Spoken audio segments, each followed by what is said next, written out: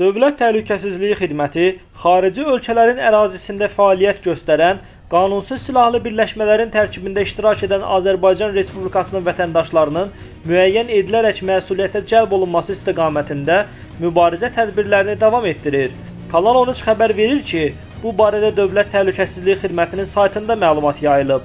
Aparılmış araşdırmalar zamanı Azərbaycan Respublikasının vətəndaşı 1986-cı il təvəllüdlü Camalov Orxan Tofiqoğlunun 2014-cü ildə ölkə hüdudlarını tərk edərək IŞİD terror təşkilatının Suriyadakı silahlı qruplaşmalarına daxil olması, həmin qanunsuz birləşmələrin tərkibində fəaliyyət göstərməsinə dair əldə edilmiş məlumatlar əsasında əməliyyat istintaq tədbirləri həyata keçirilib.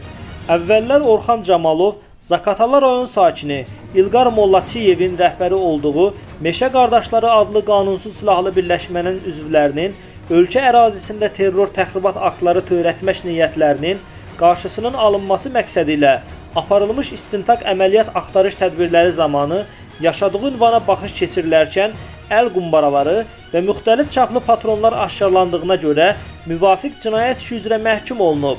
Orxan Camalov azadlığa çıxdıqdan sonra Hanzala ləqəbli Şamil adlı şəxsin dəvəti və köməyi ilə 2014-cü ilin avqust ayında Türkiyə Respublikasına, oradan isə qanunsuz yollarla Suriya Ərəb Respublikasının ərazisinə keçərək həmin dövlətin Raqqa şəhərinə gedib.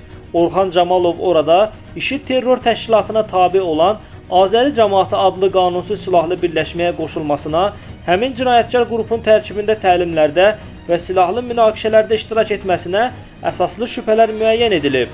və getdikdən sonra ora ra, Cərabul, Türkiyə keçmişəm. Türkiyədən Cərabulus şəhərinə, Cərabuluzdan Raqqaya getmişəm.